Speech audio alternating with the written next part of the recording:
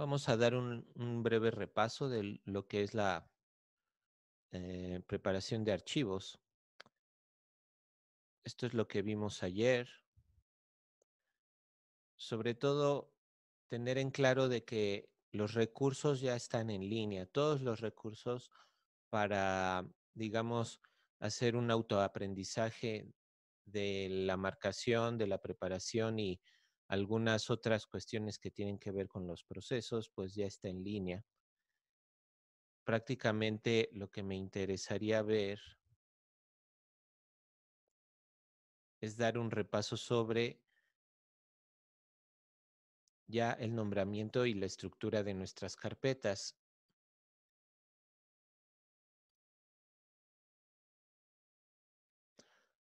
Laura, eh, desde el comienzo, desde que me pidió hacer este taller, pues eh, yo lo pensé en miras de que las personas que lo tomaran pudieran eh, dimensionar a grandes rasgos lo que es el trabajo de la marcación.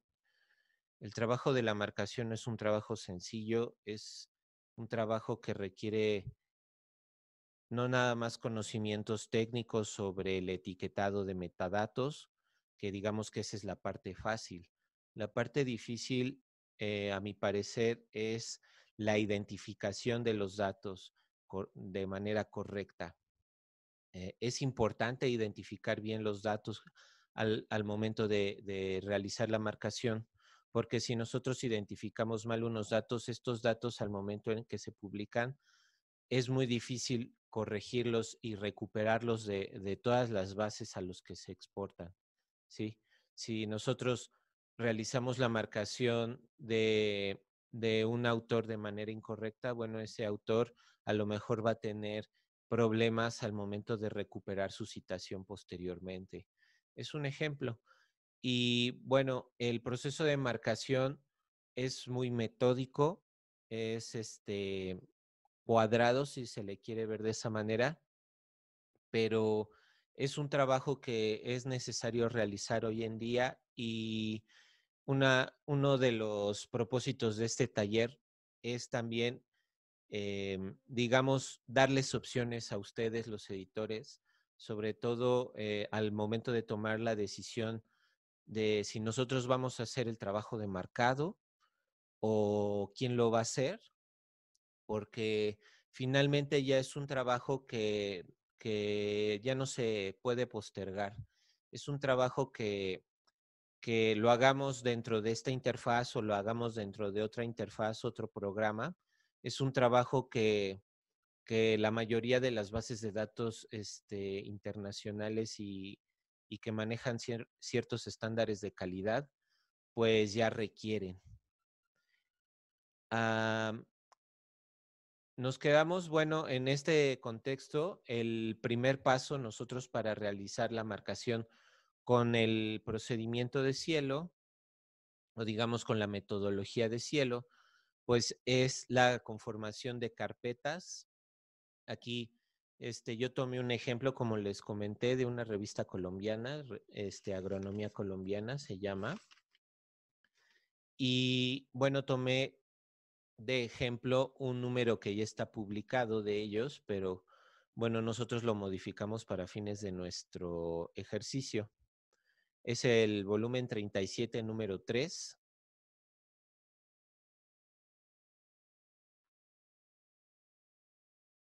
Y bueno, los documentos dentro ya del programa Word, nosotros los, los debemos de haber ya formateado de cierta manera para que el programa los reconozca. Y bueno, quería recordarles de que este formateo no es totalmente obligatorio, es solo una manera en la que se organiza el trabajo para hacer que la marcación sea un poquito más fluida. Pero si nosotros lo formateamos o lo tenemos ya como salió, o más bien cuando sí salió de la dictaminación, eh, nosotros ya podemos eh, comenzarlo a marcar con el, digamos que con la manera en la que esté estructurado ya. Solamente que va a ser un poquito más de trabajo, pero en realidad no, no afectaría el proceso de marcado. Ahorita, este, cuando, cuando ya comencemos a ver el proceso de marcado, pues se darán cuenta de mejor manera. Entonces, bueno, hasta aquí es donde llegamos ayer. Quisiera preguntar si alguno de ustedes tiene alguna duda en particular. Vamos a comenzar con la sesión del día de hoy, ya entrando en materia. Marcación de documentos con el esquema de publicación cielo. La marcación de documentos es el proceso en el que se etiquetan los datos que componen los documentos científicos y no científicos con el fin de que los sistemas automatizados los identifiquen. El esquema de etiquetas por nosotros utilizado es el ya mencionado XML YAT Cielo y el programa que nosotros vamos a utilizar. Eh, para dicho fin es el markup. El markup sintetiza el trabajo de marcación al utilizar la interfaz que ofrece el programa Office Word y digamos que nos ayuda a, a, empezar y a conocer este tipo de trabajo. ¿sí? Es un trabajo que, digamos, requiere, no requiere conocimientos en particular. Cualquier persona este, que tenga una noción sobre el uso de Office y de la conformación, digamos, estructural de datos, eh, pues lo, lo, puede realizar. Eh, bueno, se ha, se ha, dicho de que de los trabajos que más ayudan a la, a la, cuestión de la compresión del marcado son las personas que han venido este, trabajando con datos o que han estudiado ciencias de la información, bibliotecología, también la cuestión este, de informática ayuda un poco a, comprender mejor la estructura de los XML y del trabajo de marcado. Pero en realidad cualquier persona este, puede realizar este trabajo, em, ya que digamos que también requiere el conocimiento de las disciplinas que nosotros, eh, de los trabajos que nosotros estamos marcando. ¿sí? Entonces, en realidad, este, este programa hace que se sintetice de manera, este, pues, eh, marcada lo, que es el trabajo de, de la marcación. En este contexto, bueno, quisiera comentarles que el documento de Word en el que nosotros hoy vamos a estar trabajando no es un XML, no hay que confundirlo. El XML se produce posteriormente una vez que nosotros hayamos terminado la marcación dentro del Word, ¿sí? Pero el, el documento Word en sí no es un XML. ¿Cómo funcionan las etiquetas? Bueno, para mí es muy importante que ustedes conozcan, digamos, la lógica en la que se mueven eh, los procesos de etiquetado. Eh, entendiendo, digamos, que esta lógica básica, el proceso de marcación se hace mucho más fácil y puede, este, digamos que, interiorizarse mucho mejor. Aquí coloqué un ejemplo sobre una etiqueta que nos describe el título de un artículo. El título de este artículo es el que está dentro de las etiquetas. Las etiquetas son las que están aquí en morado Todas las etiquetas deben de abrir y cerrar en algún momento. Si nosotros tuvimos la oportunidad de, estudiar en algún momento alguna cuestión sobre diseño de, páginas web o lenguaje HTML o lenguaje SGML, eh, pues ya, ya pudiéramos tener un poquito más de conocimiento sobre la lógica en la que se manejan el etiquetado. El etiquetado simplemente lo que hace es embonar los datos dentro de una etiqueta que abre y una etiqueta que cierra y les asigna un, digamos, un descriptor o, bueno, sí un descriptor, porque finalmente el metadato es lo que está describiendo a los datos. En este, eh, eh, en este ejemplo tenemos la etiqueta doctitle. Doctitle se utiliza para este, describir los títulos de, de los artículos, los títulos principales de los artículos. Aquí tenemos la etiqueta de doctitle que abre y la doctitle que cierra. Todas las etiquetas que cierran tienen una diagonal antes del nombre de la etiqueta. Entonces, las etiquetas también pueden poseer atributos. Ese es el nombre de la etiqueta. Ese sería un atributo de la etiqueta y no nada más las etiquetas pueden tener un, atributo, sino pueden tener varios atributos.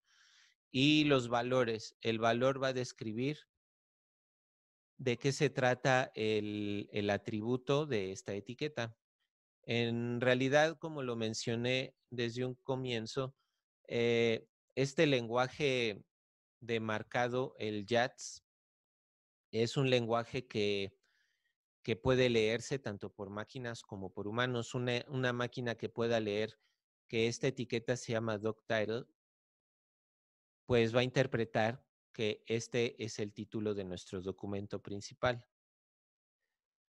Y nosotros también podemos, pues, eh, leer, aunque sea de manera abreviada, pues de que se trata del el título del documento, doctitle. La mayoría, o más bien todas las etiquetas, como el, el vocabulario YATS fue desarrollado este, para fines, digamos, este, de intercambio de conocimiento a nivel internacional. Bueno, el inglés es el lenguaje que todavía se utiliza para, para intercambiar de manera más este, amplia el conocimiento. Entonces, todas las etiquetas vienen en inglés. Este atributo aquí está describiendo que es eh, que nos va a decir en qué idioma está este título.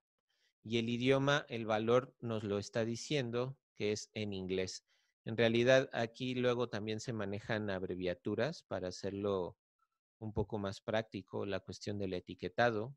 Y son este, abreviaturas que también están normalizadas, digamos que se utilizan, en este caso, la norma ISO para abreviaturas de, países o de idiomas, y aquí el EN, más bien para idiomas, eh, es, es la abreviatura para describir el idioma inglés.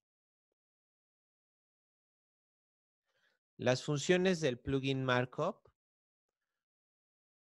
aquí se las muestro. Estas son todas las funciones, o más bien parte de las funciones, pero en realidad esta es la herramienta que nosotros vamos a estar utilizando de manera, pues, de manera general, o sea, no vamos a, tener la necesidad de cambiarnos a otra pestaña más que utilizar esta que estoy indicando aquí, que se llama complementos.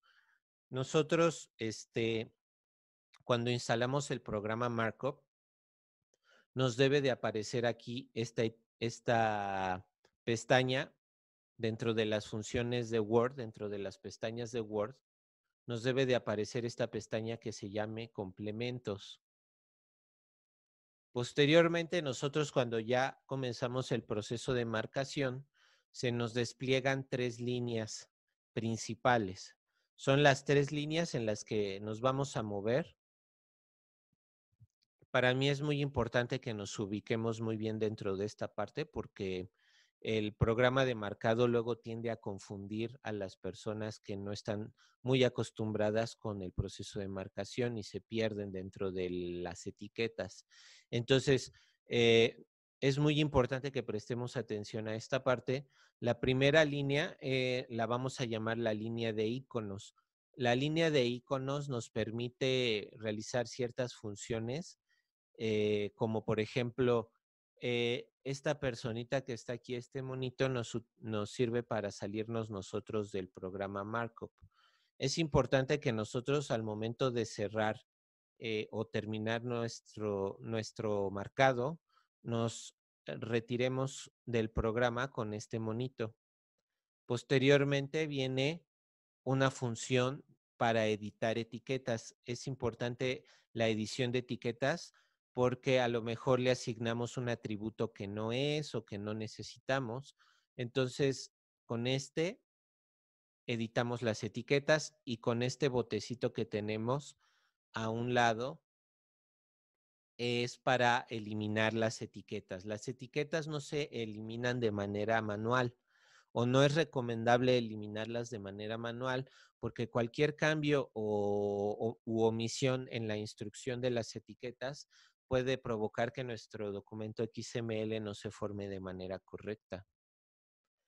Posteriormente tenemos más funciones que vamos a ir viendo de manera ya este, eh, más práctica, pero finalmente son funciones que nos ayudan. Por ejemplo, estas funciones son para el etiquetado automático de referencias si están dentro de ciertas normas, por ejemplo, de la norma Vancouver que se utiliza mucho en ciertas este, revistas eh, de ciencias duras, eh, utiliza siempre la misma manera de citación y de, de estructuración de las referencias, siempre es la misma manera.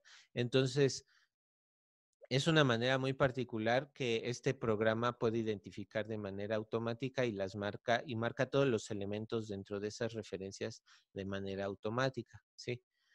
Por ejemplo, aquí también tenemos el icono de salvar para generar nuestros XML, son todas estas funciones posteriores.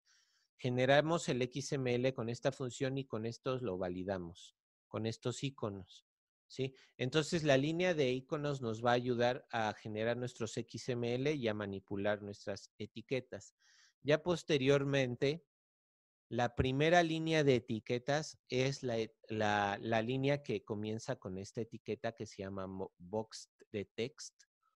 La mayoría de las etiquetas están este, abreviadas para practicidad, para fines prácticos.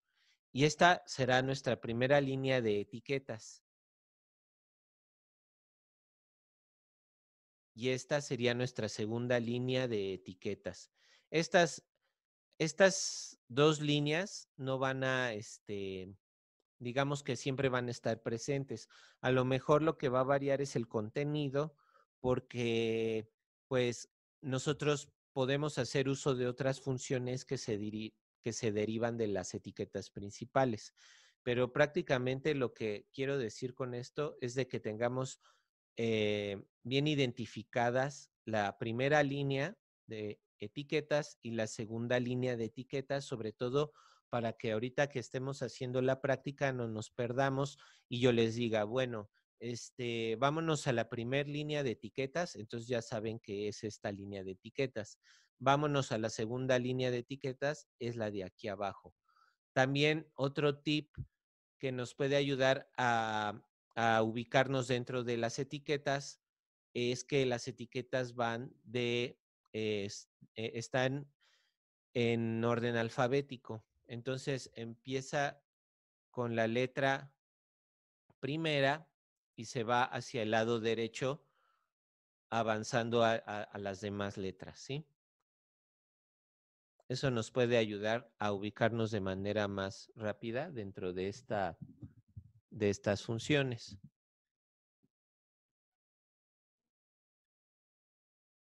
Ahora,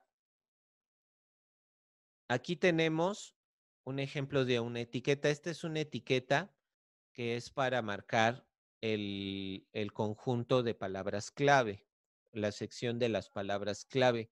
Se abrevia KWDGRP. Yo me voy a referir a ella como Keyword Group, que digamos que es el, el nombre desplegado de la etiqueta. y eh, aquí la vamos a identificar como la etiqueta principal. Este es un ejemplo para que se den cuenta ustedes que las etiquetas se subdividen en etiquetas posteriormente. Para descender el nivel, simplemente debemos de, eh, picarle a la a la función de descender nivel que siempre va a estar al lado derecho de la etiqueta.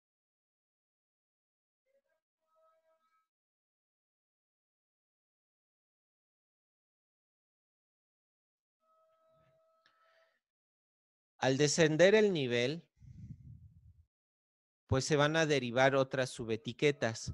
Estas subetiquetas, digamos, también forman parte de la etiqueta principal y nos ayudan a reconocer elementos de manera más particular dentro de ciertas secciones.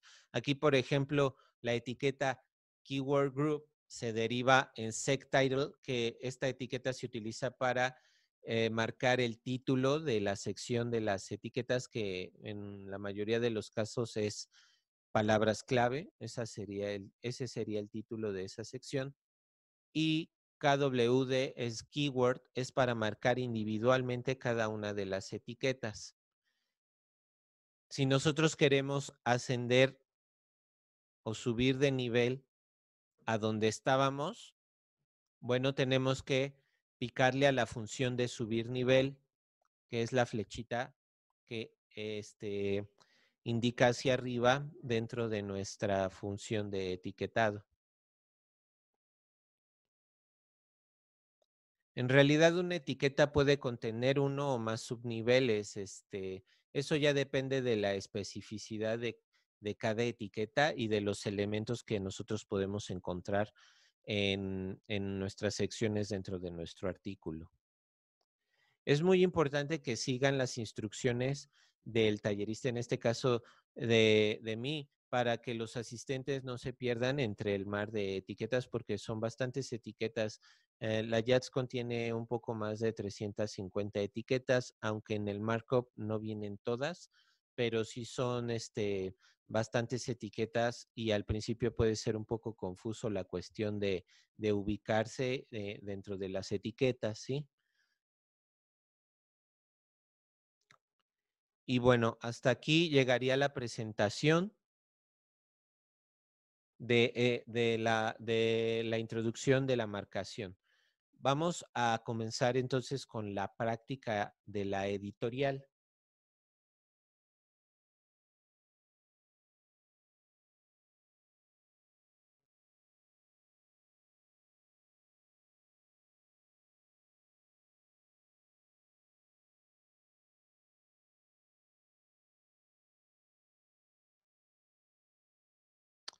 ¿Hasta aquí tienen alguna duda?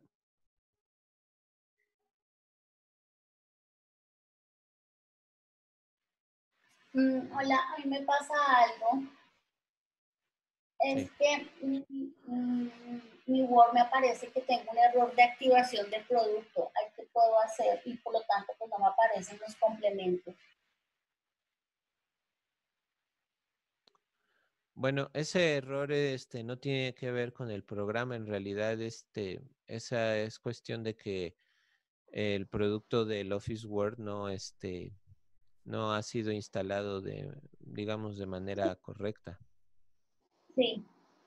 Ok, pero igual no me están apareciendo los em, las marcaciones y me está saliendo, me salió que por, por, por ese error de activación no me las dejaba aplicar. Probablemente no se hizo correctamente la instalación del programa porque yo he visto otros programas que, este, que no tienen la, la activación del producto y sí aparece la pestaña de complementos.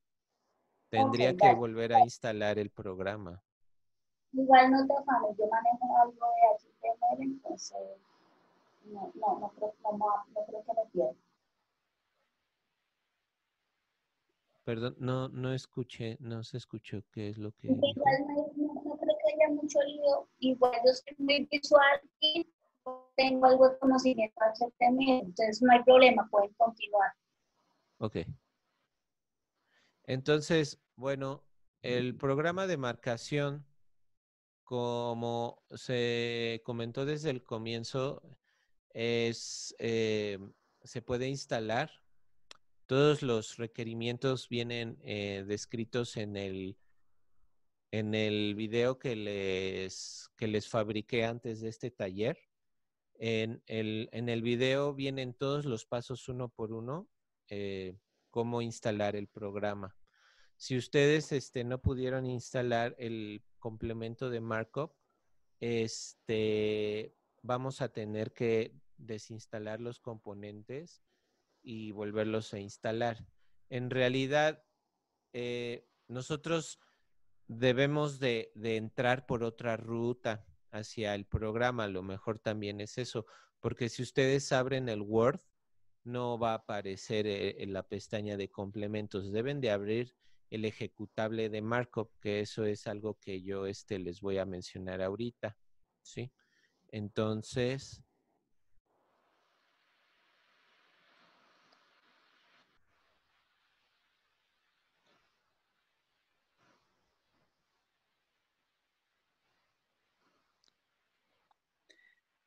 quiero eh, expresar que tienes toda la razón. Mira, mi computador también no tiene pues activado el Office, pero sí, eh, o sea, bien, pero sí me aparece, cuando abro el Word, me aparece el Reyes Markup. Lo que no me aparece son los complementos, entonces quedo atento a cómo lo, a cómo lo realizo, pero sí se evidencia que, que todo quedó bien estructurado en la instalación. Ok, Fabio. Este, sí, ahorita les voy a, demostrar cómo entrar al programa. Vamos a hacer primero la verificación de nuestras carpetas. Nuevamente les voy a compartir mi pantalla para que todos vayamos este, siguiéndola.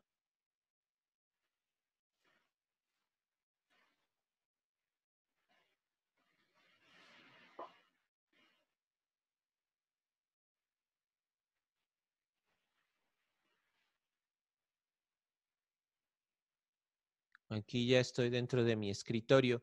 Yo tengo los este, documentos de la práctica dentro de esta carpeta de preparados. Lo que les comenté ayer es de que esta carpeta de markup, esa la pueden posicionar en donde ustedes gusten. Pero sí es importante que a partir de ahí estas dos carpetas existan dentro de la carpeta markup-xml. Si no está estructurado de esta manera, el programa no va a reconocer la ruta y no vamos a poder trabajar. Entonces, es muy importante que estemos hasta aquí de manera correcta. Ya posteriormente, nosotros, bueno, yo en el video les sugerí que una vez instalado el programa, eh, pusieran un acceso directo en el escritorio.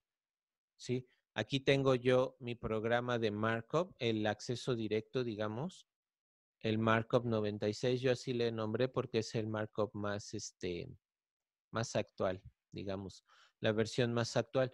Pero si nosotros no lo pusimos en el escritorio, lo podemos buscar dentro del, del buscador aquí en, en el inicio como markup. Si nosotros tecleamos markup, nos va a aparecer la aplicación. La que dice aplicación es la correcta. Nosotros vamos a darle ahí. Me dice que cambió el, la ruta.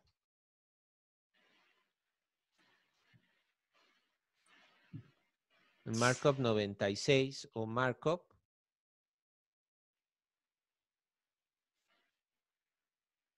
y nos va a abrir esta pestaña que dice advertencia de seguridad, las macros se han deshabilitado. Nosotros debemos de ponerle habilitar el contenido y si nosotros vemos aquí abriendo el programa desde Markup, desde el ejecutable de Markup, nosotros podemos ver aquí que nuestra pestaña de complementos ya aparece. ¿Sí?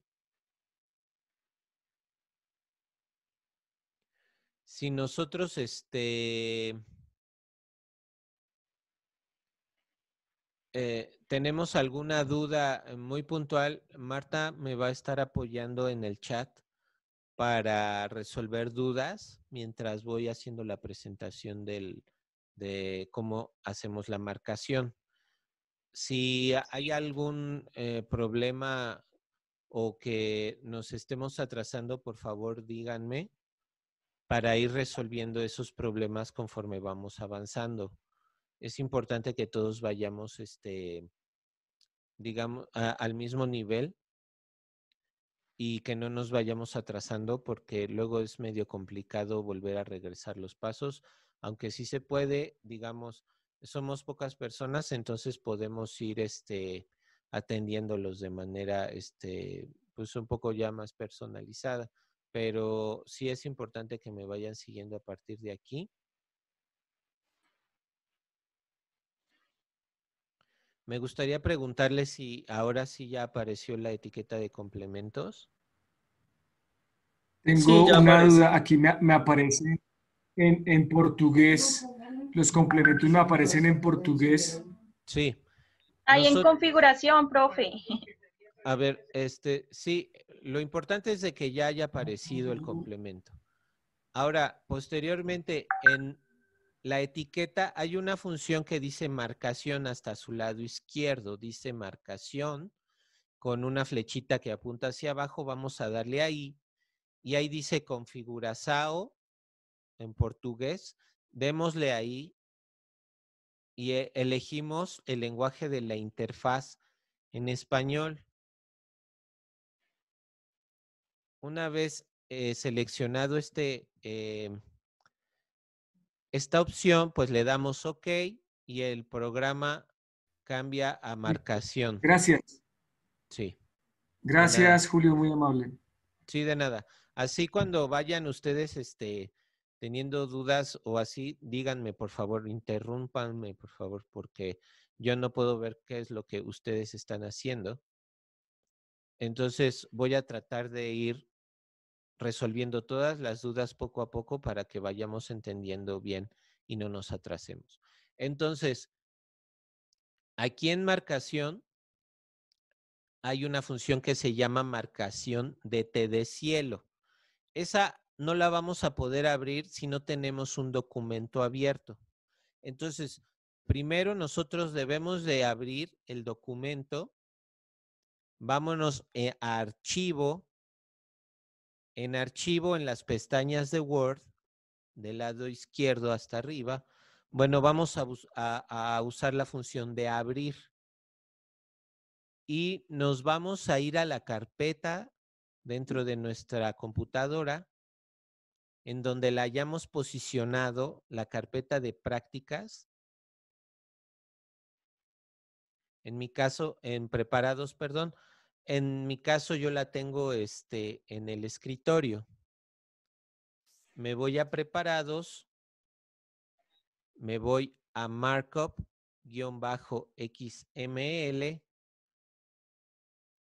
entro a la carpeta que dice cielo-markup. Recordemos de que la carpeta cielo-markup es la que va a albergar nuestros Word, y la carpeta SRC es la que va a albergar nuestros PDF. Dentro de nuestra carpeta cielo-markup, vamos a abrir el primer documento que se llama A1-1-2.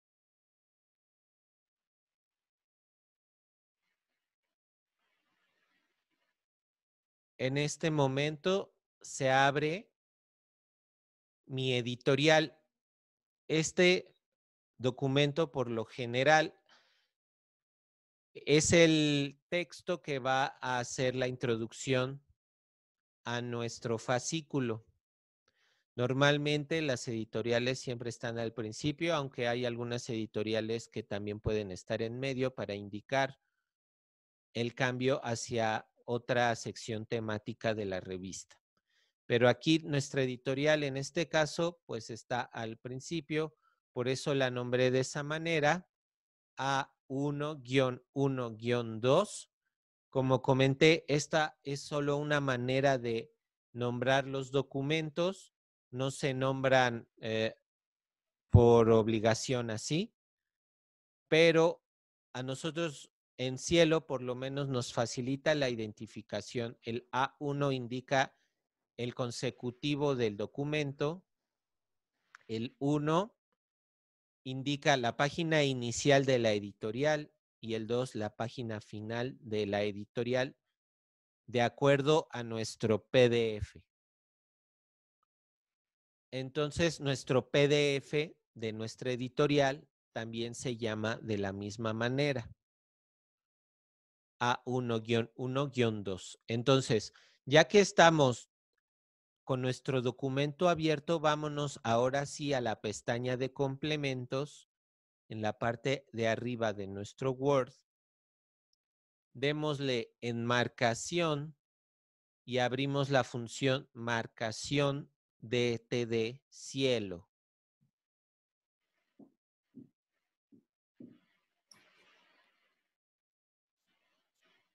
Se tarda un breve momento en desplegar las funciones y aquí está la barra de funciones que nosotros tenemos para hacer nuestra marcación. Nuestro texto se va a seleccionar de manera automática. Eso está bien, digo, no hay ningún problema. Y podemos darnos cuenta que aquí está nuestra barra de iconos seguida de nuestra primer línea de etiquetas. La primera línea de etiquetas en este caso empieza en la etiqueta doc y nuestra segunda línea de etiquetas comienza con la etiqueta boxset txt. Vamos a utilizar la etiqueta doc. No sé si ustedes pudieron este, instalar o, más bien si hicieron todos los pasos que, ah, que mencioné dentro del video, las listas de nuestras revistas de Colombia deben de aparecer ahí. Déjenme checar porque creo que yo me quedé con las de México. Sí. Entonces, voy a tener que salirme porque no actualicé. Como ayer estaba marcando, no actualicé mi lista de etiquetas, pero todos ustedes pueden darle a la función de doc, denle a la función, a la etiqueta de doc para que nos despliegue una ventana. Yo voy este, a actualizar aquí mi, mi listado para tener lo mismo que ustedes.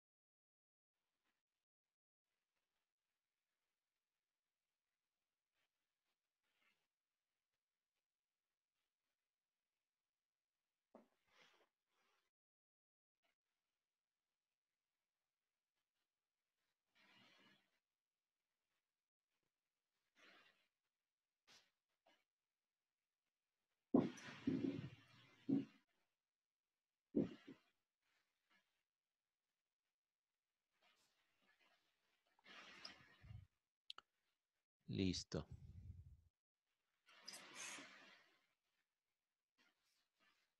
Ahora sí me voy a poner al tanto. Voy a abrir nuevamente mi documento y dentro de las funciones complementos, en la etiqueta complementos, marcación de T de cielo, doc, me aparece esta ventana. Dentro de esta ventana nosotros vamos a acomodar eh, todos los datos principales tanto de la revista como del documento que nosotros estamos por marcar. En Collection Journal, en la pestaña de hasta arriba, aquí nos debe de aparecer el listado de las revistas colombianas que se, que se encuentran actualmente en la base de datos de Cielo es importante de que si nuestra revista no está aquí, este, sí vamos a poder hacer la marcación, pero con el, podemos hacerlo con el nombre de otra revista, es decir, eh, bueno, todos ustedes me han comentado de que no, eh, no, aún no están indizados dentro de cielo. Pero si ustedes quieren comenzar con la marcación de estilo de cielo, pueden elegir cualquier otra revista y lo único que vamos a hacer después es este,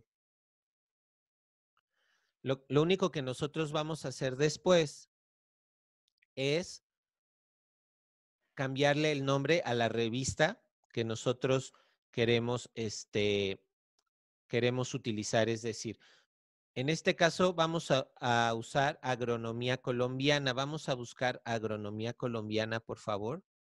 está casi luego, luego ahí en el listado de las revistas. Nosotros al momento de elegir la revista, se van a jalar automáticamente otros datos que ya están este, registrados en la base de datos, en este caso de Cielo Colombia. J-Title, digamos que es el título oficial que eh, tiene esta revista dentro de la base de datos, se llama Agronomía Colombiana. Ese title es el título este, abreviado de esta revista, Agron Colomb, y el acrónimo, el acrónimo, digamos que son las siglas que se le asigna dentro de la base de datos para identificar de manera más fácil esta revista.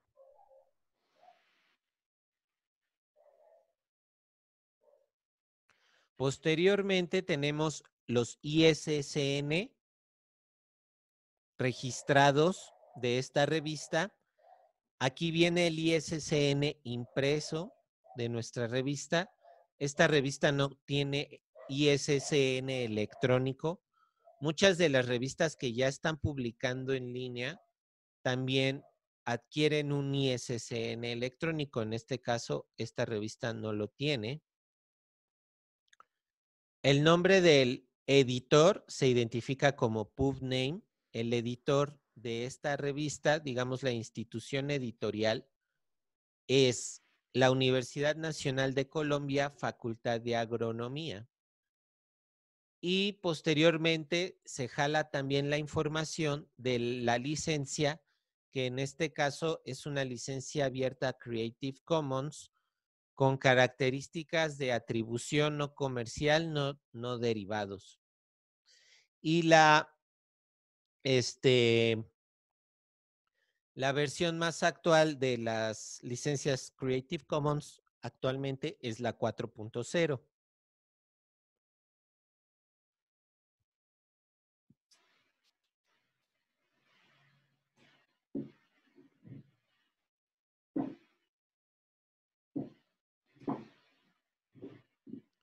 Hasta aquí llegan todos los datos que se jalan de manera automática de nuestra base de datos y ya posteriormente nosotros tenemos que hacer la marcación, el ingreso de datos particulares de este documento.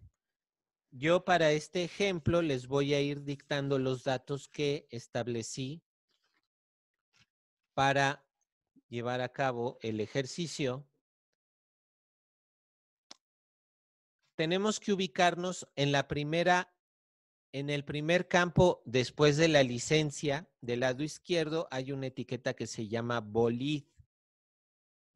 En bolid nosotros vamos a establecer el volumen de nuestro al que pertenece nuestra editorial, en este caso es el número 37. Bolid 37, nos saltamos una casilla y en la que sigue isueno es el número del fascículo que nosotros vamos a ingresar. En este caso es el 3, el fascículo 3. Bolid 37 y sueno 3 es el número de nuestro fascículo.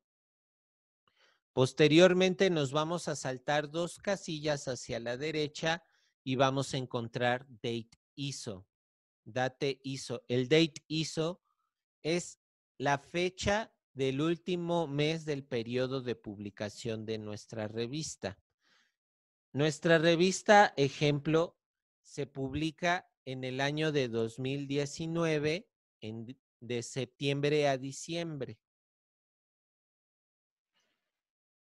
Entonces, nosotros en esta parte debemos de posicionar el último mes del rango de meses que abarca nuestra publicación. La norma ISO de para fijar fechas establece que primero es el año, luego el mes y luego el día. Nosotros no tenemos un día en particular en el que se publicó este fascículo. Entonces, únicamente vamos a posicionar 2019 1200. Del lado derecho hay otra casilla que se llama Month Season. Aquí, en este caso, nuestra revista está manejando un rango de cuatro meses, es decir, que es cuatrimestral. Nosotros debemos de posicionar aquí el rango de meses que abarca nuestra publicación. En este caso, si nosotros nos posicionamos dentro de Mod Season, hasta abajo, en unas letras azulitas, abajo nos menciona de qué se trata esta casilla en particular. Si nosotros tenemos dudas, podemos hacer eso con cualquier casilla y la ayuda nos va a decir, bueno, aquí lo que debes de poner es esto, ¿sí? En Month Season nosotros debemos de poner el rango de meses únicamente utilizando las tres primeras letras del mes en inglés, ¿sí? Debe de, ingresarse en inglés. En este caso es septiembre, diciembre. Vamos a poner SEP diagonal DEC, porque es December o December. Es September, SEP-DEC. De esta manera, como yo lo tengo aquí en el ejemplo. Y listo. Ahora, aquí en, nos vamos hasta el lado izquierdo en la siguiente línea de casillas hay una casilla que se llama F-Page o F-Page. Esto hace alusión a First Page, en inglés es primera página. ¿Cuál es la primera página de nuestra editorial? Había mencionado que es el, la 1. Nos saltamos una casilla hacia la derecha y está L page. L page, L page de last page. Nuestra última página que abarca nuestra editorial es la número 2. Entonces, first page 1, last page 2. Nos volvemos a saltar otra casilla que son datos que en este caso no aplican para su ingreso. Y estamos en la casilla de Order in Talk. Order in Talk nos está pidiendo el, el orden del documento dentro del fascículo. En este caso es el 1. Nosotros ponemos un 1 ahí. Order in Talk. Talk es Table of Content, que en español sería tabla de contenido. Es el orden del documento, el orden que tiene este documento en particular dentro de la tabla de contenido. En este caso es la editorial, es, la primer, es el primer documento dentro de nuestro fascículo, es el 1. Del lado derecho está la casilla de Page Count. Page Count nos está pidiendo cuál, cuántos, cuántas páginas abarca nuestro documento, pero ojo, este documento el orden, la cantidad de páginas de nuestro documento la debemos de ver en el PDF, no en el Word. Es el registro que nosotros tenemos dentro del PDF. Si nosotros podemos ir al PDF, es una opción. En, realidad son dos páginas, pero si no estamos muy seguros de cuánto, este, de cuánto abarca este, de páginas nuestro documento, pues podemos irnos al PDF y los PDF siempre nos van a decir cuántas páginas contiene nuestro documento. ¿sí? Aquí es importante que no tomemos las páginas que están en blanco, únicamente las que tienen el contenido de nuestro texto, como lo tenga establecido la tabla de contenido. Entonces, en este caso, ¿cuántas páginas contiene mi documento? Dos. Page count, dos. Entonces está order in talk 1, page count 2. Nos vamos al lado izquierdo a la siguiente línea de, de, campos, de casillas, y viene una que dice doc topic. Dentro de doc topic, nosotros podemos picarle a la pestaña ahí y nos va a desplegar una serie de tipos de documentos, ¿sí? Estos tipos de documentos son los que están registrados con el esquema de publicación de cielo, ¿sí? Son todos los documentos que soporta el esquema. Y si ustedes se dan cuenta, pues hay muchísimos tipos de documentos. Hay que elegir el que más se adecue a la descripción de este documento en particular, que es un editorial. Entonces, aquí dentro de esta lista encontramos editorial o introducción. Nos vamos tantito hacia abajo y debemos de encontrar editorial o introducción. Seleccionamos editorial o introducción y listo. Nos vamos a la siguiente casilla dice language, idioma. El idioma en el que está esta editorial es el español, entonces ahí no debemos de mover la opción. Y la casilla que sigue nos dice, nos está pidiendo la versión del cielo publishing esquema. Constantemente se van actualizando los criterios de revisión en nuestra base de datos y por eso hay diferentes versiones. Nosotros, para que se sincronice correctamente con la versión más actual de nuestra versión, es la 1.9. Es la versión más actual del esquema de publicación Cielo o Cielo Publishing Schema 1.9. Únicamente lo posicionamos de esta manera y listo. Las casillas que siguen, únicamente vamos a rellenar la casilla, la casilla, perdón, que dice Art Date Rolling. El Art Date va a ser la fecha del día de hoy, la fecha en la que nosotros comenzamos nuestra marcación eh, eh, con, el, eh, con la norma ISO, es decir, año, mes y día. Entonces vamos a posicionar nuestro cursor dentro de Art Date de la casilla y vamos a teclear 2020 0902. 2020-0902. A un lado hay otra casilla que se llama H, AHP Date. Ahí no vamos a posicionar nada, no vamos a ingresar nada. Y con esto hemos terminado el llenado de nuestro este, de nuestros primeros metadatos generales de nuestra revista y de nuestro documento en particular. Julio, disculpa. ¿El SPS versión me puedes volver a, recordar de qué se trata? El SPS versión. Sí, la SPS, SPS es la abreviatura de Cielo Publishing Schema, es decir, del esquema de publicación de Cielo.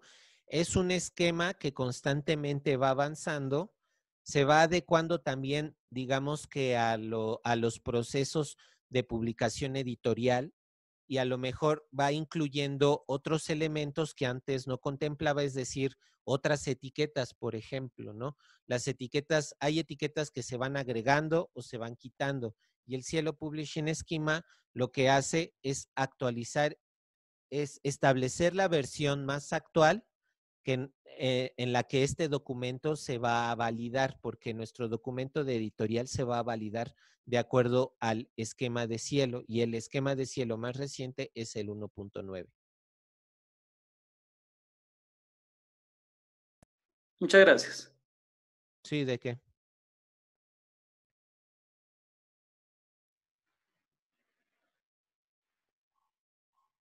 Perfecto. Entonces nosotros ya tenemos aquí llenado nuestro, nuestros campos iniciales con los datos correctos, vamos a darle en la parte inferior derecha, perdón, está la, eh, la función de OK, le damos OK y nos va a preguntar que si estamos nosotros de acuerdo con el modelo que nosotros hemos implementado aquí, es decir, con el llenado de, nuestro, de nuestra casilla inicial, le damos que sí y automáticamente nos va hacer una marcación de ciertos elementos. Les voy a explicar.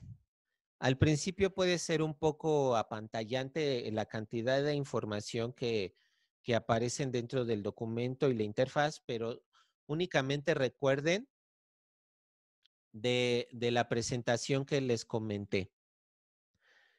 Nosotros tenemos la etiqueta de doc aquí. Esa es nuestra etiqueta principal. Posteriormente, todos estos, todas estas funciones son atributos de esa etiqueta principal. Es decir, después de doc aquí tenemos SPS, es el atributo y el valor de ese atributo es el 1.9. Esa información nosotros le ingresamos. El acrónimo de nuestra revista, el título de nuestra revista, el título de nuestra revista abreviado, el ISSN, está el pub name también, que es la, el nombre de la editorial o de la institución que publica esta revista, Universidad Nacional de Colombia. Todo eso está en rosita. Las etiquetas para fines, digamos que de mayor practicidad o de, de, de manera didáctica, se están poniendo en colorcitos. Cada una de las etiquetas se va a distinguir por un colorcito.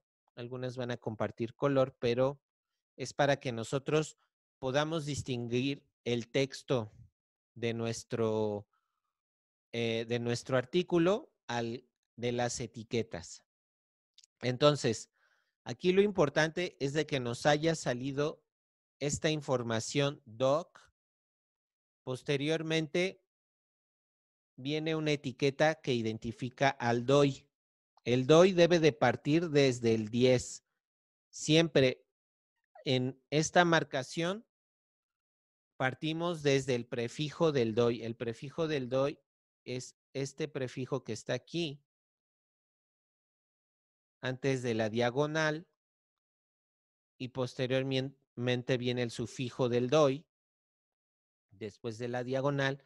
Toda esa información debe de estar dentro de la etiqueta DOI. La etiqueta DOI está en color naranja y abre y cierra en la misma información. La etiqueta de doc, por ejemplo, cierra hasta el final. Si ustedes se van hasta el final del documento, ahí hay una etiqueta de cierre de doc. Es decir, todo lo que esté dentro de la etiqueta de doc es lo que va a publicarse. Bueno, retomando, esta, e, esto es parte del front. Recordemos que es parte del frente de nuestro documento. El front va a, a contener el DOI. Posteriormente, posteriormente viene el nombre de la sección, que en este caso es editorial. Se identifica con la etiqueta TOC title, TOC con T de Tomás, Talk Title. Y posteriormente viene el título de nuestra editorial, el cual está englobado dentro de la etiqueta Doc Title en morado. Doc Title debe de abrir aquí y cerrar al término del título de nuestro documento.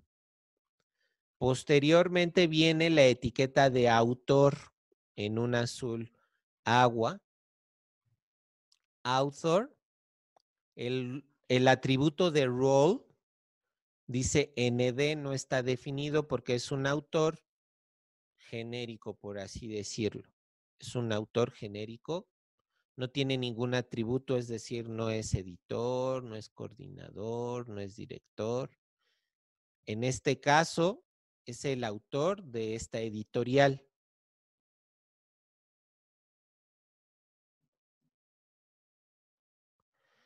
F-name, las etiquetas que están dentro del autor, como les mencioné, hay subetiquetas, ¿sí? Las subetiquetas son todas las etiquetas que están dentro de la etiqueta principal. La etiqueta principal en este caso es autor y las subetiquetas en este caso es F-name, hace alusión a first name, el nombre primero, Nelson Enrique. Nelson Enrique debe de estar dentro de la etiqueta first name. Surname hace alusión al apellido Fonseca Carreño. El programa nos identificó de manera automática tanto nombre como apellido, porque en el apellido yo le coloqué un guion entre Fonseca y Carreño. Los guiones tienen esta función. En realidad yo lo coloqué así para que no tuviéramos problemas de que tuviéramos que editar el nombre y el apellido a mano, porque ahorita estamos dentro de la introducción de la marcación y no quería confundirlos. Entonces, Fonseca-Carreño es el apellido. Si nuestro programa no lo reconoce de manera automática, lo podemos editar. ¿Sí? Digo, no hay problema. Y después de la etiqueta surname, viene otra etiqueta que se llama XREF. XREF es una etiqueta que nos ayuda a hacer cruce de información dentro, perdón, cruce de información dentro de nuestro documento. XREF, en este caso, el atributo que nosotros estamos viendo aquí es de un tipo AF. AF hace alusión a la afiliación y todas nuestras etiquetas, en este caso para hacer cruces, deben de tener un identificador. El identificador para cruzar la información de afiliación es AFF1, ya que en este caso únicamente tenemos un autor y tenemos una afiliación que es la que está en la parte de abajo.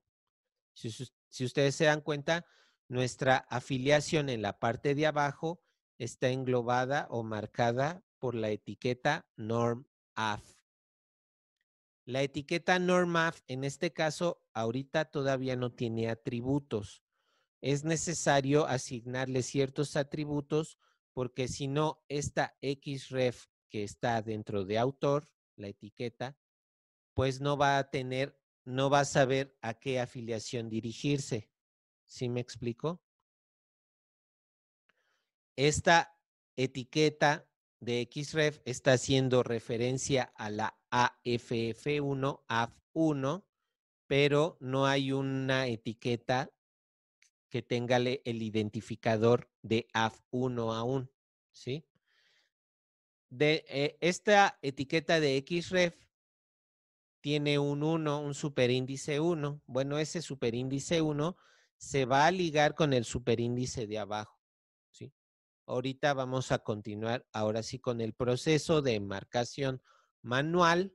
Hasta aquí creo que todos vamos bien porque no me han, no me han comentado o hecho algún comentario. ¿Quieren este, preguntar algo o todo va bien?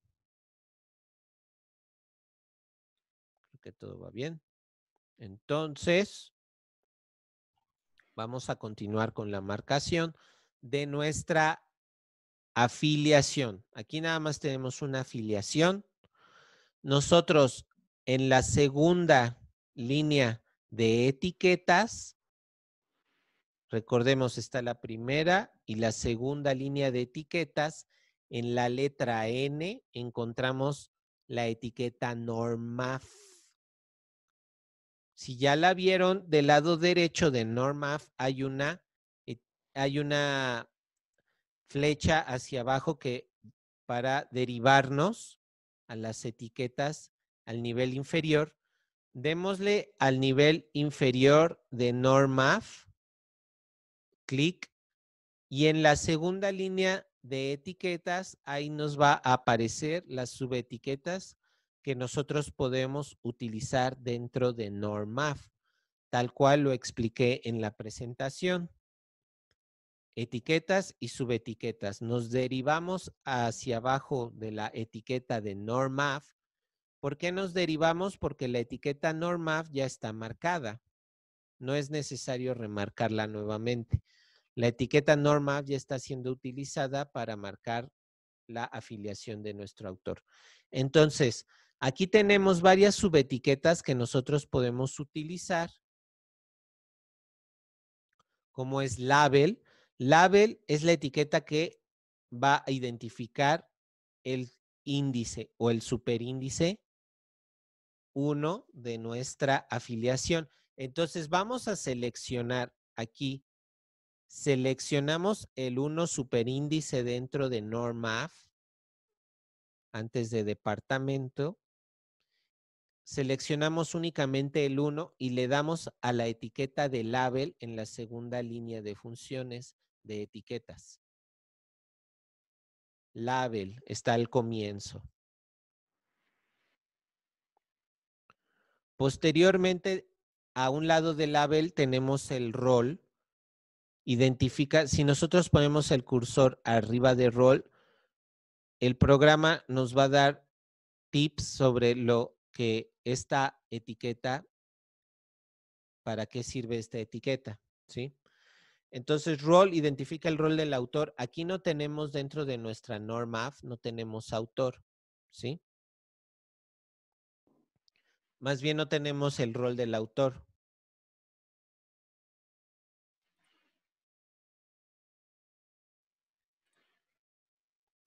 Entonces, proseguimos con lo que sigue. La etiqueta que sigue es org name. Identifica dónde fue registrada la patente. Bueno, en este caso. Disculpa, Julio. Sí. Es que hice dos veces el proceso y me dice que hay error en el momento de inserir la TAC. Ah, ok. Este, ¿cuál, ¿cuál no has podido marcar? El de label, el que cogemos del NORMAF 1, que cogemos solo el numerito 1 y le doy label, no lo coge, no lo toma. Ok, este... A ver, ¿me puedes compartir tu pantalla? Mm, ok, permíteme un momento porque yo te estoy viendo a ti por el celular. Ah, ok. Y estoy trabajando en el computador. Permíteme un momento. Si no, eso, ese error ocurre porque nosotros no este, estamos en el nivel correcto o en la etiqueta correcta de marcación. ¿Estás dentro de NORMAF? Sí, estoy en NORMAF.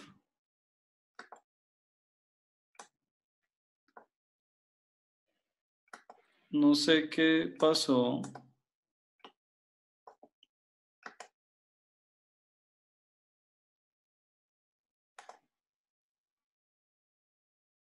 Lo estoy volviendo a intentar a ver qué pasa. Eh, hay otra pregunta, Julio. Eh, a Edwin no, le aparecen las etiquetas de label. Ok. Creo que ya lo resolvió. Ajá. Este, sí, es muy importante ubicarnos dentro de las funciones de las subetiquetas, porque si nosotros estamos dentro de una etiqueta que no es, no nos va a dejar insertar la tag, que en este caso es la etiqueta. Entonces, voy a volver a compartir mi pantalla. Necesito que... Sí, te agradezco. Si luce de esta manera, NORMAF debe de estar dentro de NORMAF. NORMAF si está marcada, este...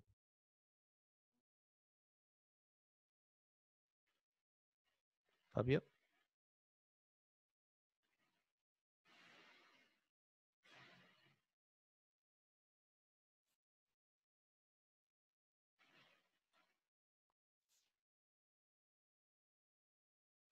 Si está marcada NORMAF, vayámonos hacia arriba otra vez. Dentro de NORMAF, nosotros bajamos a un nivel inferior al lado de la etiqueta NORMAF. Aquí nos van a aparecer en la segunda línea de etiquetas va a estar label, role, org name, org div, org div 2, city, state, country, zip code, email.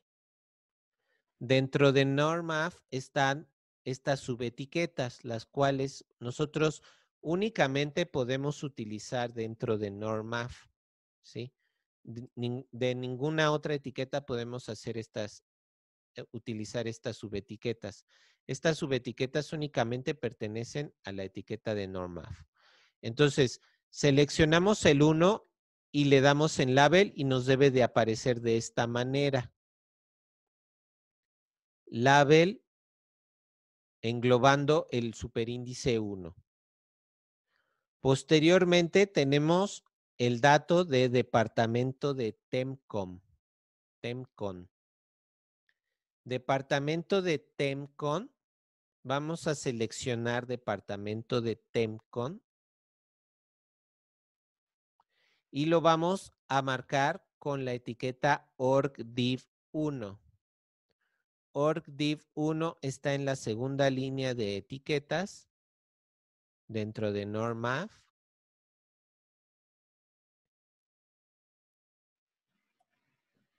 Y esa va a ser nuestra subdivisión institucional. Y posteriormente viene Universidad de Cundinamarca. Universidad de Cundinamarca, hay que seleccionar esa información. Es nuestra organización principal. Entonces, esta etiqueta, la etiqueta a utilizar es org name. Org name es para identificar las instituciones principales. Entonces, tenemos el superíndice 1 dentro del label, departamento de TEMCOM como orgdiv 1 y org name englobando a la Universidad de Cundinamarca.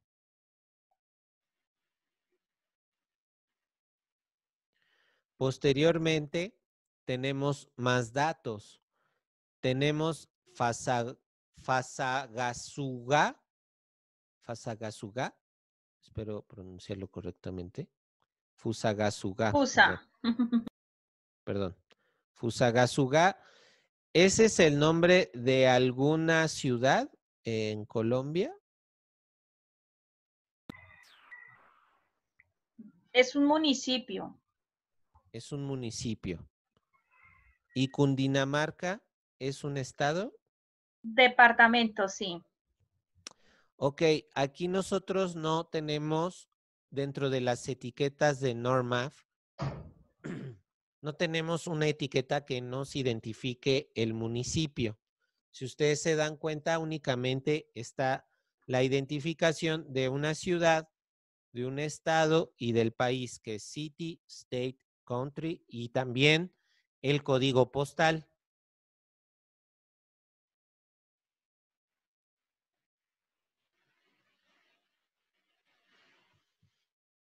Perdón. Y bueno, entonces Fusagasuga no lo vamos a marcar. Cundinamarca lo vamos a marcar como state.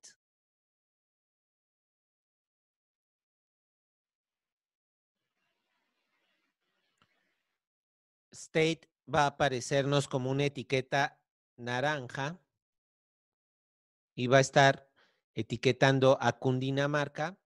Colombia es el país, entonces utilizamos la etiqueta de country.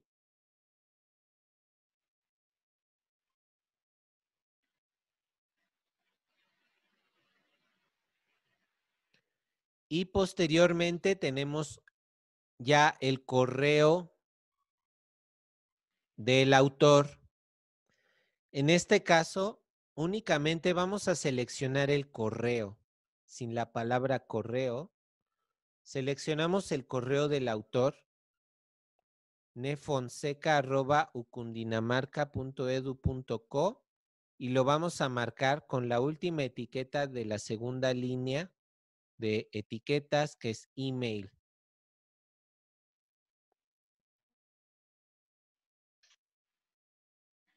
y listo. Esos son todos los datos que nosotros podemos marcar dentro de NORMAF.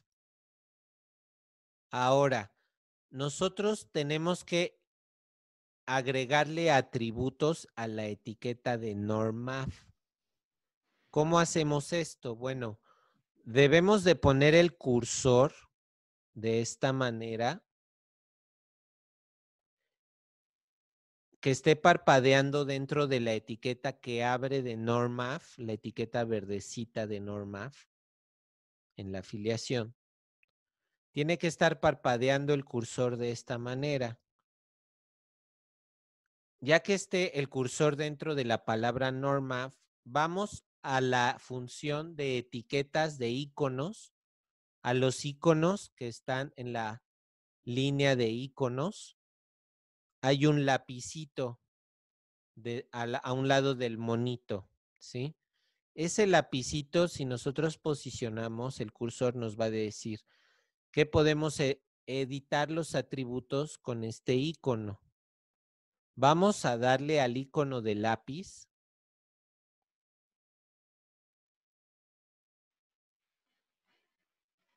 Y nos va a aparecer una ventana de diálogo donde nos va a pedir en la primera casilla, bueno, la primera casilla vienen todos los datos que nosotros hemos marcado.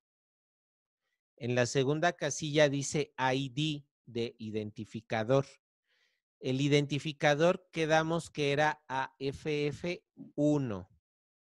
Entonces tiene que ser AFF1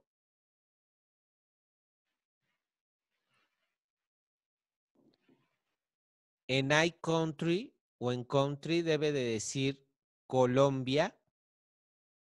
Automáticamente, como nosotros ya identificamos las etiquetas dentro de NORMAF, ya jala el dato de Colombia y la organización principal, OrgName, Universidad de Cundinamarca. Ahora, nosotros vamos a normalizar el nombre de esta institución, vamos a confrontar estos datos con el de la base de datos de cielo y le vamos a dar en la pestaña que dice Find. Find. Find. Démosle ahí a la casilla de Find y me va a aparecer un cuadro que dice Select a correct result, NORG name and end country. Le damos a aceptar. Esto hizo una búsqueda dentro de la base de datos y si le damos en la pestaña de results, en la última casilla, nos va a aparecer la Universidad de Cundinamarca, Colombia. Seleccionamos esta opción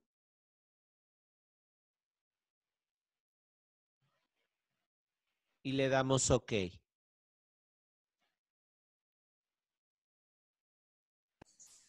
Eh, Julio, una pregunta. Eh, nos dicen que cómo se define el ID o por qué se escoge el AF1. Esa es una pregunta muy buena. Nosotros en en el manual de marcación de Cielo México voy a entrar, el cual está dentro de el sitio de Cielo México. Este manual está completamente en español. También lo pueden consultar en, portugués en, el sitio de Brasil, en el sitio de la red Cielo. Pero aquí en el sitio de eh, Cielo México, en el manual de marcación, Luego, luego al comienzo de cómo usar markup, aquí lo estoy proyectando dentro de mi pantalla, existe las recomendaciones para asignar el atributo ID. Dentro de esta sección viene todo un listado de cuáles son los prefijos normalizados por el esquema de publicación cielo. Julio, disculpa, estamos viendo el documento, no ah, la página. Gracias. Gracias. Gracias. Es que creo que no este. Disculpen, todavía no estoy muy acostumbrado a esto. Creo que ahí está, ¿verdad? Sí, ya aparece. Va, muchas gracias. Gracias. Nosotros, como estaba comentando, dentro de los, dentro del manual de marcación cielo, en Cielo México, aquí luego, luego nos aparece la sección recomendaciones para asignar el atributo ID. El atributo ID se usa para identificar los elementos que se enlistan a continuación, figuras, tablas, afiliaciones. Este atributo permite establecer referencias cruzadas entre la mención del elemento en el texto y el elemento en sí. Para determinar el ID de un elemento, combina el prefijo del tipo de, de elemento y un número entero como se muestra a continuación. Entonces, aquí tenemos una tabla con la descripción de todos los elementos que utilizamos en la marcación del estilo cielo. El elemento, en este caso, el primero es NORMAF. La descripción es para la afiliación. El prefijo a utilizar es el AFF. Y, el, y aquí vienen algunos ejemplos, AFF1, AFF2. Y así posteriormente. Está el elemento app para apéndice, FNGRP para notas al pie del artículo, boxset de TXT para cajas de texto, etcétera. ¿Sí? Aquí en esta lista es donde nosotros podemos consultar el prefijo normalizado necesario para asignarle los identificadores a los elementos que lo necesiten. No todos los elementos requieren identificadores, pero a los que lo requieran, aquí vienen los prefijos y vienen ejemplos. Yo les voy a ir eh, haciendo la guía eh, ahorita para que no tengamos que estar consultando todo el tiempo esta tablita, pero posteriormente si eh, ustedes necesitan consultarlo, bueno, aquí está a la mano. les voy a, mandar en el transcurso de estos días un, un resumen de los links más este, importantes al momento de marcar para que ustedes los tengan a la mano y puedan consultar ahí este, los manuales o alguna otra instrucción, ¿sí? Ok, gracias. Ben, eso quiere decir que si el artículo es en coautoría, entonces ahí sí se dispone de una afiliación 2 y en ese momento a esa, a esa otra entidad se le coloca el número 2, ¿cierto? Así es. Muchas gracias. Exactamente. Sí, de nada. Entonces, voy a regresar a mi marcación. Y bueno, nosotros ya tenemos vinculado nuestro primer autor con la etiqueta XREF, lo tenemos vinculado a la afiliación 1 y ahora sí, después de normalizar nuestra afiliación, ya le aparecen los atributos que necesariamente identifican varios datos de nuestra afiliación y le asigna un identificador a la norma que en este caso es la AFF1.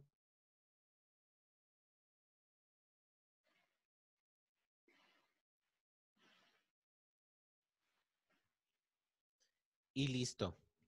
Entonces, aquí ya terminamos con el front, con la, la marcación de nuestro front.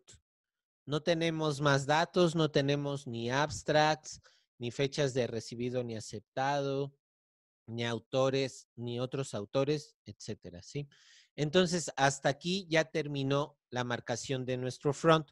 Si nosotros analizamos qué es lo que más existe dentro de nuestra editorial, pues nos damos cuenta que ya nada más es el cuerpo de nuestra editorial, el body. Entonces, Vamos a seleccionar todo el texto desde la Universidad de Cundinamarca, aporte, estrategias, todo eso hasta antes de la etiqueta de cierre de doc, hasta el punto. ¿Sí? De esta manera, la selección debe de abarcar hasta antes de la etiqueta de cierre de doc, que está en rosa. Seleccionamos todo este texto.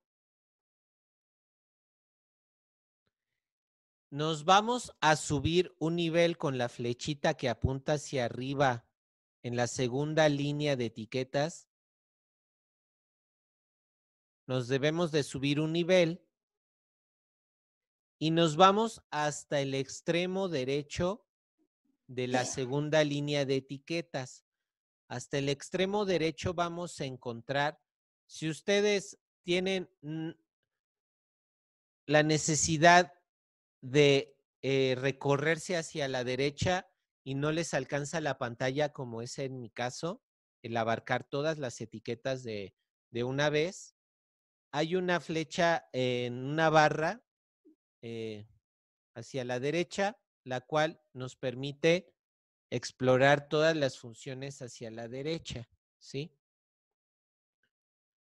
Hasta el extremo derecho de la segunda línea de etiquetas hay una etiqueta que se llama XML Body.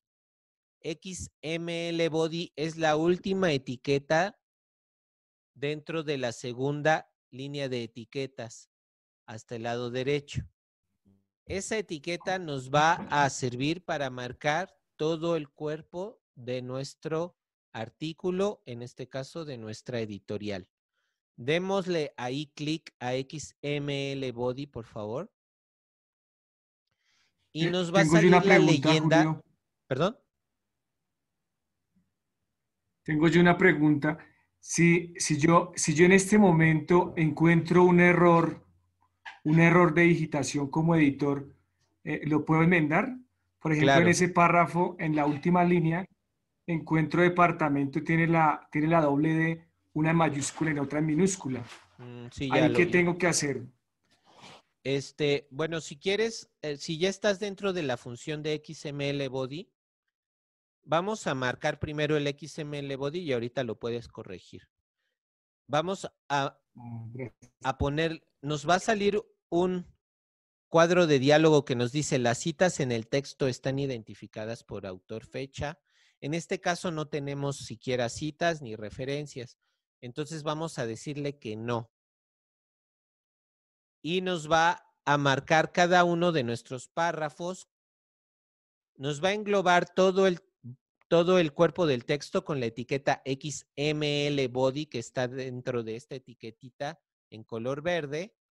Y posteriormente cada uno de los párrafos va a estar englobado dentro de una etiqueta P, P que abre y P que cierra. Las P es para identificar los párrafos corrientes dentro del cuerpo del texto. Ahora, lo que me preguntas, Fabio, aquí es posible hacer correcciones de manera manual sin ningún problema. Es decir, aquí yo encontré como editor un error, el cual nada más requiere que borre la, la, D minúscula, tengo entendido. Entonces, borramos la D minúscula como borramos cualquier otro texto dentro de Word con, la, con el backspace del teclado y listo.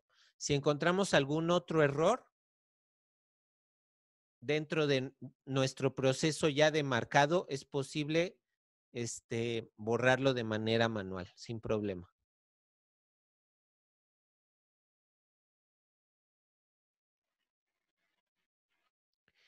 Y con esto terminaríamos la marcación de nuestra editorial.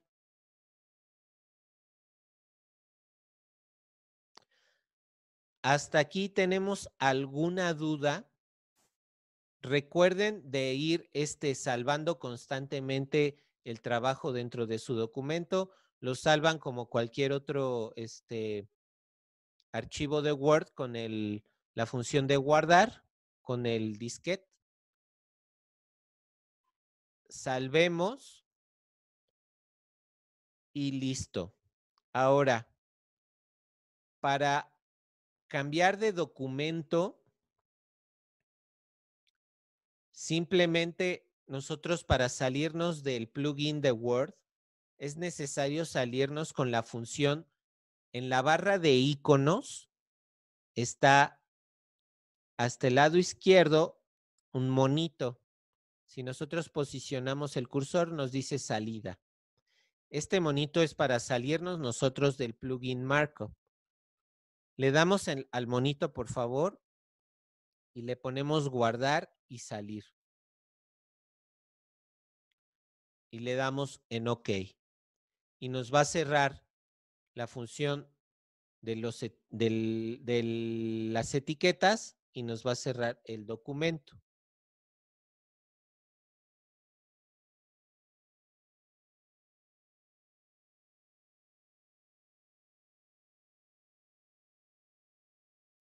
Y listo. Creo que tenemos una pregunta aquí en el chat. Nelson Eh, pregunta sí. qué, qué pasa si no, sal, si no se sale con el icono del monito. ¿Se pierden los cambios? No, no se sale, eh, no se pierden los cambios. Lo que, lo que pasa es de que si no salimos con el icono del monito, las funciones del Word de, complementos van a seguir abiertas, ¿sí? No se va a cerrar de esta manera. Entonces, si siguen abiertas y nosotros volvemos a abrir otro documento, las etiquetas se van a quedar trabadas en donde estábamos y no nos va a dejar marcar el documento de manera inicial. Entonces es importante salirse con el monito para volver a abrir otro documento. Digamos de que si ya nos vamos a salir de Word, así totalmente ya no vamos a marcar, nos salimos con el tache para cerrar el programa y ya no hay ningún problema.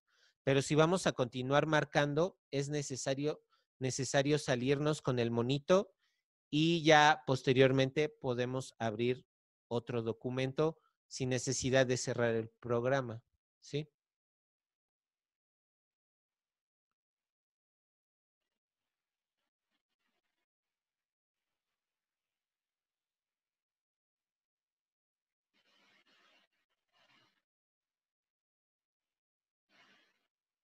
Y listo. Creo que ya no, no sé si tengamos más dudas.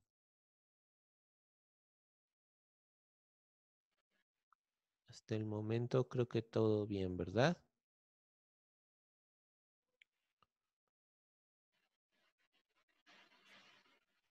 Entonces,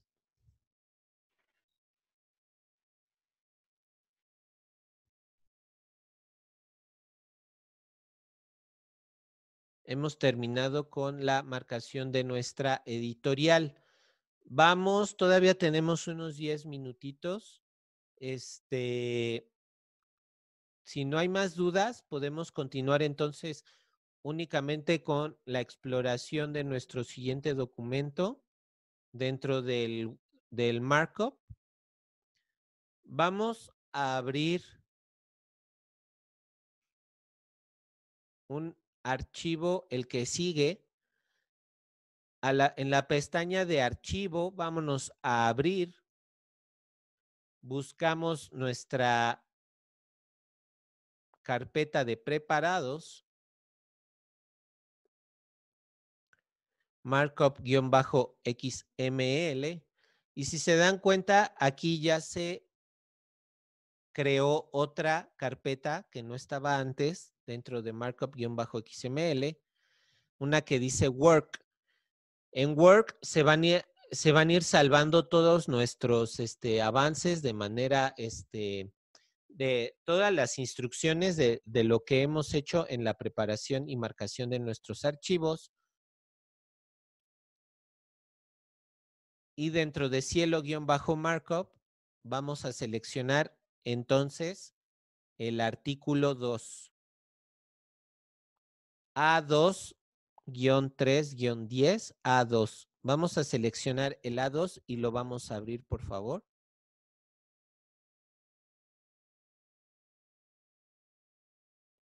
Este documento ya está formateado, ya está listo, digamos, para marcar.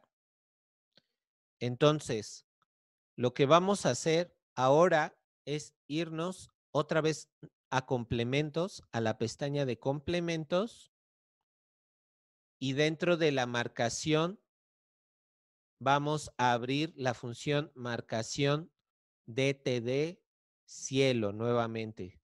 hasta su lado izquierdo está esa función. En parte superior izquierda. Y nos va a desplegar nuevamente todas las etiquetas. Dentro de las etiquetas, en la primera línea de ecuaciones, de, perdón, de etiquetas, en la primera línea de etiquetas vamos a darle a la etiqueta de doc. Siempre vamos a comenzar con la etiqueta de doc, ¿vale? Para identificar los documentos. Démosle ahí a la etiqueta de doc. Vamos a buscar nuevamente nuestra revista. La revista es Agronomía Colombiana. Hay que abrir la pestaña y buscamos Agronomía Colombiana. La seleccionamos, está casi inmediatamente luego, luego de desplegar las revistas.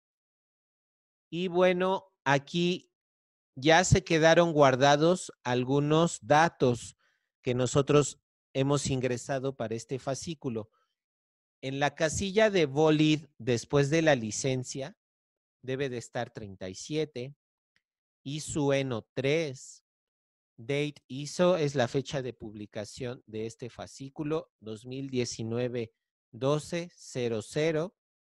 El periodo de publicación month season es septiembre, diciembre, SEP diagonal DEC. Y esos datos ya quedaron guardados ahí. ¿Vale? Ahora, en first page,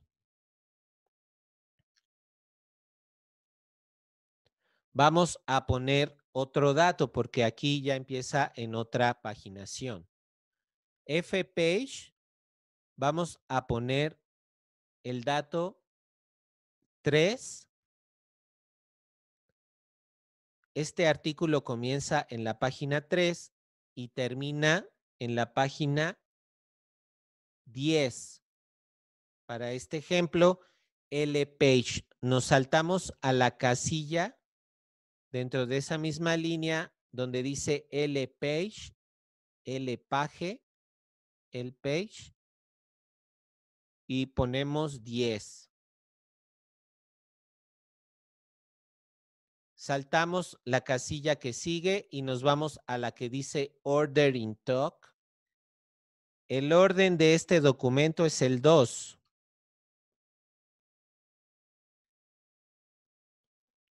Colocamos el 2 en esa casilla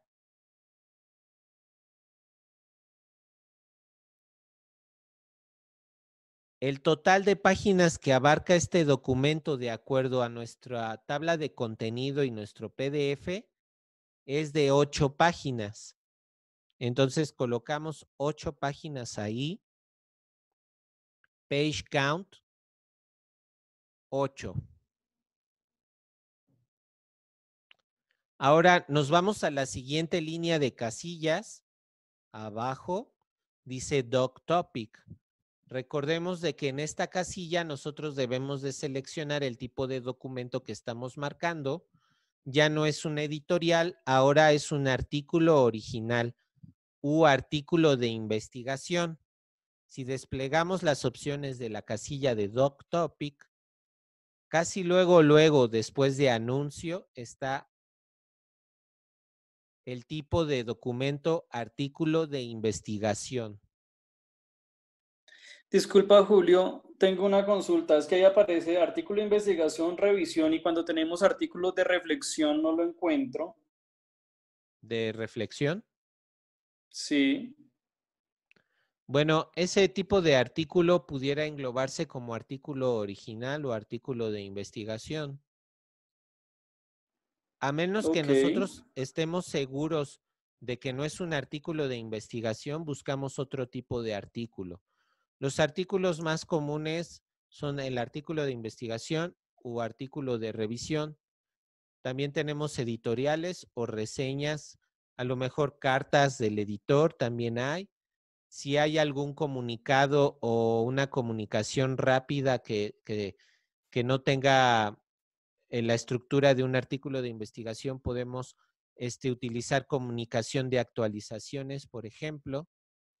Em, ahorita les muestro todos los tipos de documentos que podemos tener y su descripción. Sí, Julio, lo que sucede es que nosotros aquí en Colombia manejamos artículos de investigación, ¿sí? de revisión y de reflexión.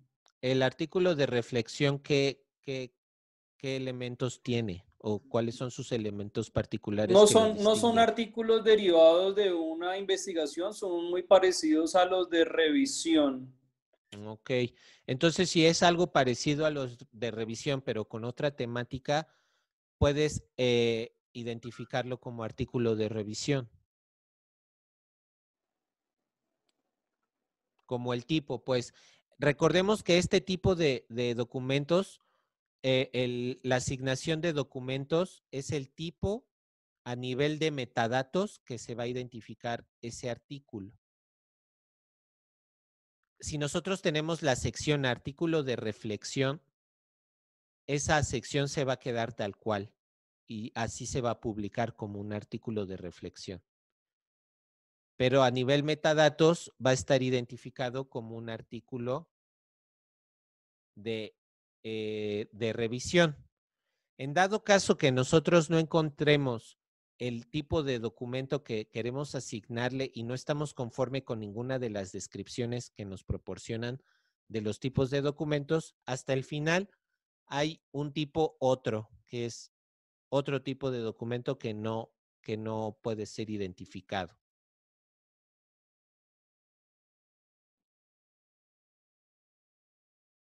Ok, muchas gracias. Sí. Eh, Aquí Nelson eh, nos hace una acotación que el artículo de reflexión es un ensayo, que no son investigaciones originales. Ok. A los ensayos se le puede eh, identificar como puede ser como artículo original o puede ser también como debate, debate o discusión. El debate eh, aquí lo ponen en español, pero en inglés el, lo identifican como discussion, que sería como pues una discusión, un ensayo. Puede identificarse también como un artículo eh, original en caso de que tenga elementos como los de los artículos originales, es decir, un tema de investigación, desarrollo de, de metodología, de resultados, de discusión. Si tiene esos elementos, puede tomarse como un artículo de investigación. Si es un ensayo, puede tomarse como, un como una discusión, un debate, o también puede ser tomado como una comunicación este, de resultados, por así decirlo. Una comunicación de los resultados de algo. O como un comentario de artículo. El comentario de artículo pudiera embonar más en la cuestión de los ensayos, porque digamos que es como un comentario que se está haciendo hacia alguna investigación o hacia un tema de investigación. Esto ya depende del criterio de los editores, cómo identifique cada uno el, el- material de su, para su publicación, los manuscritos. En este caso, bueno, tenemos un artículo de investigación y vamos a identificarlo como tal, artículo original.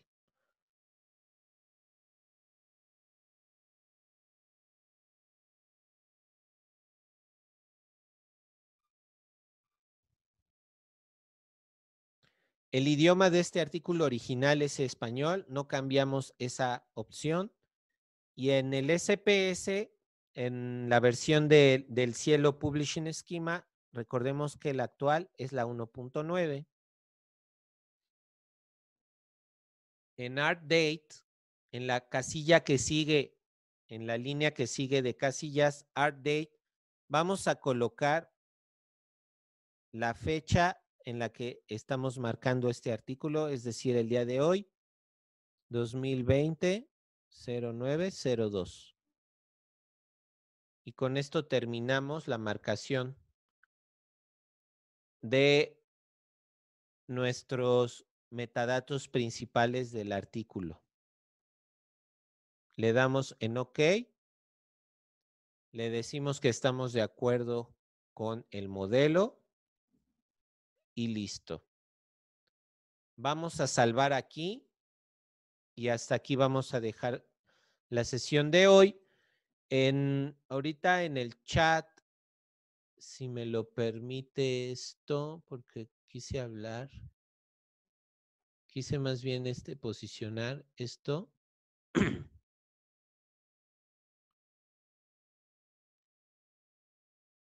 Les quiero mostrar algo nada más como para finalizar.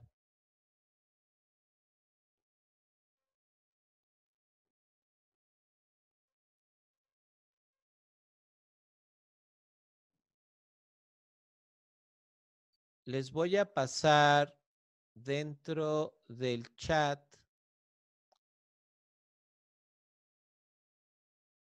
el esquema de metadatos raíz, que es el, el- la librería, o bueno, sí, la biblioteca de etiquetas del, del YATS, de la versión de la que se basa el Cielo Publishing Schema. Dentro de atributos en Article Type, les voy a pasar esta lista en el chat.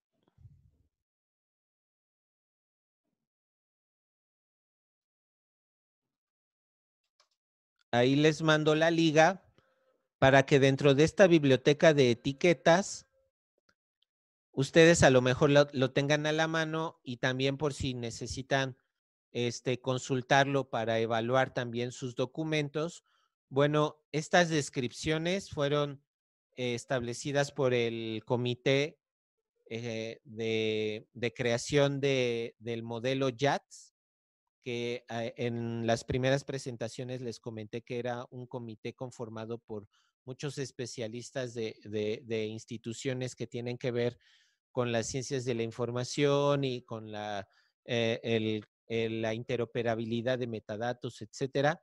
Dentro de esa liga viene el tipo de documento eh, o los tipos de documentos que sugiere la YATS y viene una descripción. Están en inglés, los pueden traducir en algún traductor de Google para darse una idea de cuáles son los elementos que, que se toman a consideración dentro de la identificación de tipos de documentos. ¿sí? Aquí ya veo que en el chat este, ya más o menos hubo un debate al respecto.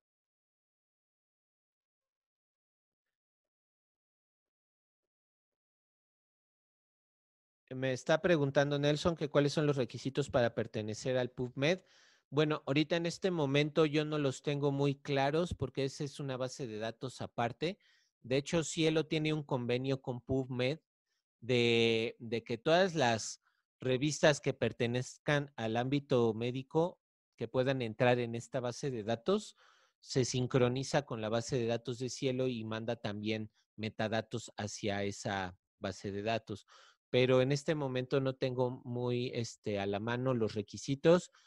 Eh, si gustas, puedo eh, darte algunos tips o, eh, in, investigar al respecto. Ahí tengo algunos documentos que hablan al respecto. Entonces, este, para la sesión de mañana te tendría algo, este, Nelson. Hasta aquí, este.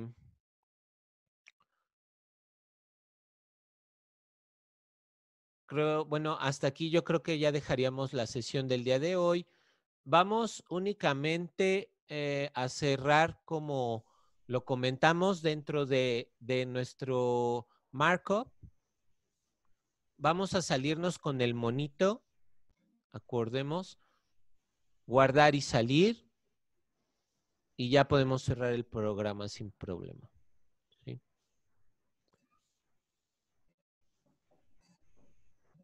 Hasta aquí vamos a dejar la sesión del día de hoy. Mañana vamos a continuar con la marcación de lo que es el artículo original y como se darán cuenta, pues ya vamos a tener muchos más elementos a marcar.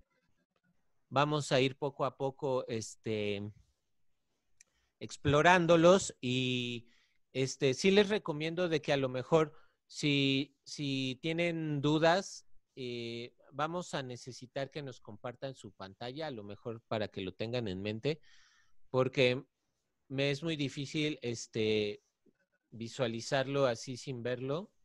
Eh, eh, ¿Cuáles son? Porque pueden ser muchas, muchas cosas que a lo mejor pueden surgir y, y a lo mejor me necesitan compartir la pantalla para yo este, visualizar los errores, ¿sí? O, eh, lo, los visualizo yo o Marta también que me está apoyando.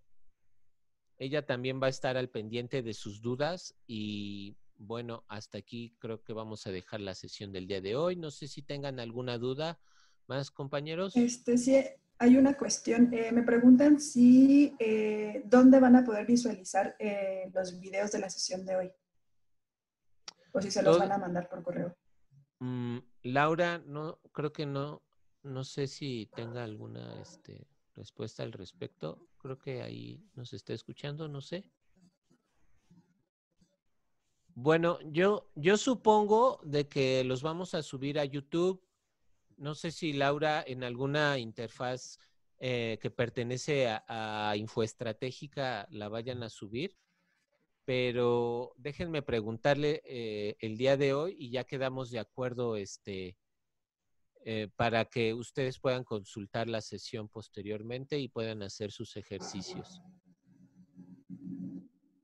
Eh, no pasa de hoy de que les resolvemos. Mañana ya les comento cuál es la plataforma que vamos a utilizar, por favor.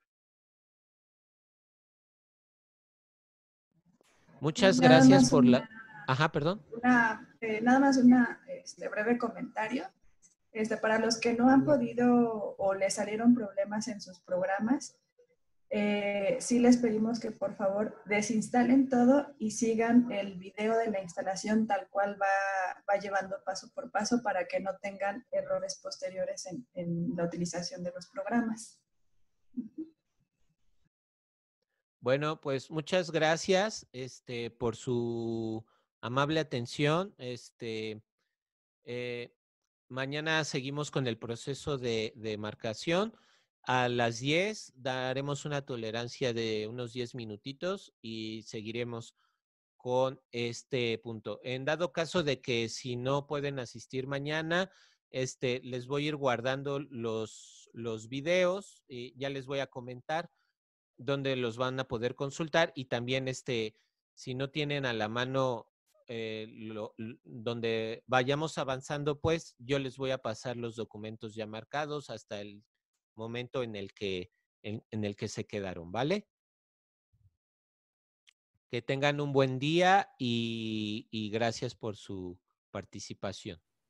Igualmente, éxitos para todos. Que estén muy bien. Gracias. Nos vemos. Chao. Muchas gracias, buen día. Muchas gracias. Bye.